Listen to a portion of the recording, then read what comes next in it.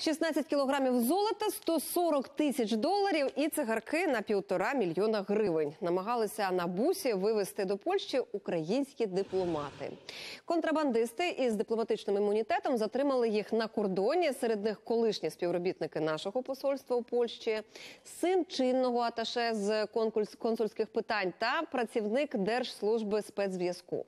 Пасажирам золотого буса тепер загрожує кримінальна справа. Україна вже відкликала двох співробітників амбасади і е, розпочато розслідування, як нам повідомили в МЗС. Досудовим розслідуванням встановлено, що водій посольства України в Республіці Польща та один із секретарів представництва МЗС України перевозили товари під акцизної групи на службовому вантажно-пасажирському мікроавтобусі. До вказаної діяльності був залучений працівник Державної служби спеціального зв'язку та захисту інформації України в Закарпатській області, екс-працівник посольства та його син, який нині чинний аташе з консульських питань посольства України в Республіці Польща.